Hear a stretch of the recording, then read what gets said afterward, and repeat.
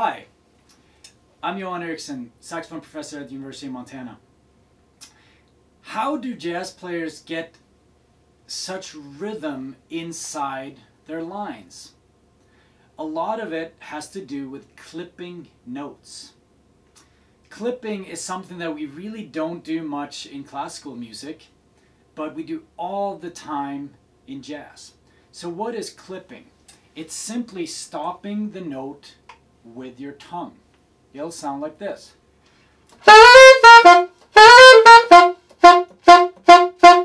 I tongue the beginning of the note and I stop the reed's vibration by putting my tongue back on the reed. So if I play a tune like Confirmation, I'll just play the first four measures.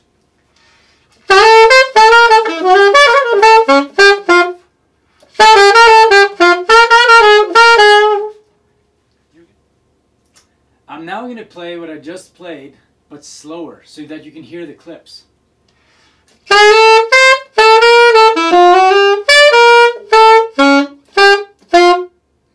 Did you hear all those clipped notes?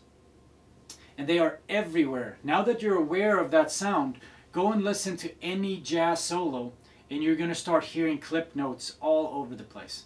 If you have listened to some jazz, you might have started noticing that sounds like some of the notes are softer than others and they sound almost swallowed.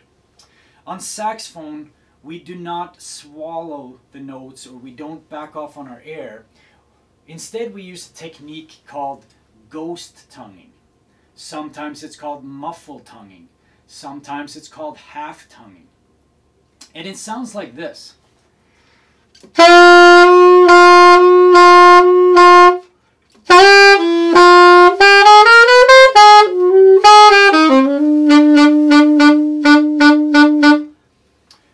do I do that?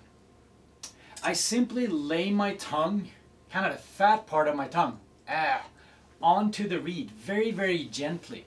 So the reed is still vibrating, but it's getting muffled. This is why it's called muffle tonguing or ghost tonguing. It's just the ghost of a note. Uh, there's a second way of doing it. You can half tongue. So if this is the tip of your reed, you put your tongue on half of it. So you move your tongue sideways and you just touch half of the tip of the reed. And it sounds the same. It also muffles the sound. To learn when to use this, you need to listen to great jazz uh, musicians play and imitate where in a solo you will hear them do it. Um, oftentimes, if you find yourself already swallowing notes, that's probably where you should use this technique. Uh, it's not something that you can think about while you're doing it, so it has to become completely automatic. Imagine if you were thinking about everything your tongue was doing as you were playing, it'd be virtually impossible to play. So it's st strictly a sound thing. So that's why it's really important to learn how to play authentically and use the proper techniques in order to do that. Have you noticed that jazz musicians often have accents within an eighth note line? How do they do that? Do they just push more air? No. On a saxophone, we've already talked about how most jazz musicians, jazz saxophonists, like to have their jaw slightly further back, which allows them to have subtone. Since they have their jaw further back, they can now push their jaw forward to neutral, where their teeth are lined up like this. You never want to go past neutral and have an underbite. That could actually injure you. So as they do that, the, re the reed will vibrate more and it will be louder, ca causing an accent in the line. So it might sound like this.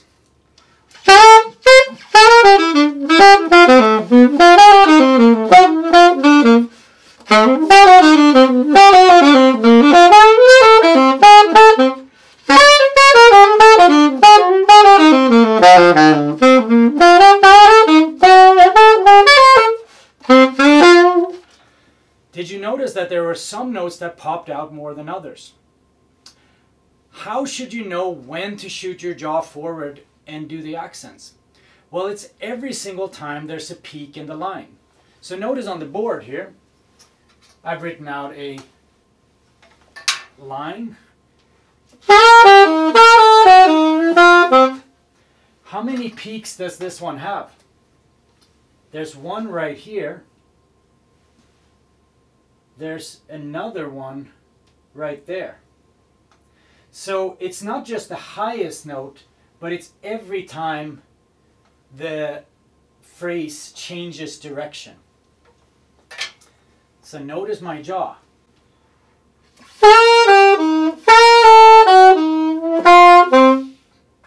Notice how I shoot my jaw forward on those notes. Again, this is very similar to the ghost tonguing. You can't really be thinking about this.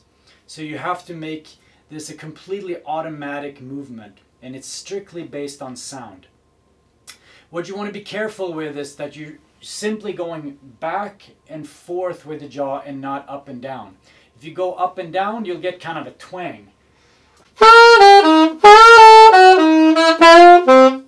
You don't want that sound. Uh, now go listen to Charlie Parker solo and notice how everything is just popping and he's getting rhythm within the rhythm. Thank you for watching these videos.